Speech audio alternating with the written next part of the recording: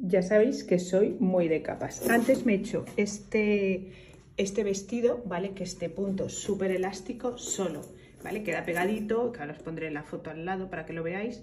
Pero digo, la que no quiera ir súper pegadita, esto es una idea, podéis superponer un suéter como este, que lleva toda la parte frontal en oro, está en negro y en blanco, ¿vale? Te disimula, sigues yendo con la faldita pegadita que queda súper bonito y es una idea con cinturón, que es elástico, o sin cinturón, en plan suelto. A ver si me lo puedo eh, quitar. Ah, soy ya una experta ya de usar la, la mano, así ¿vale? A ver, lo dejo aquí puesto, aquí.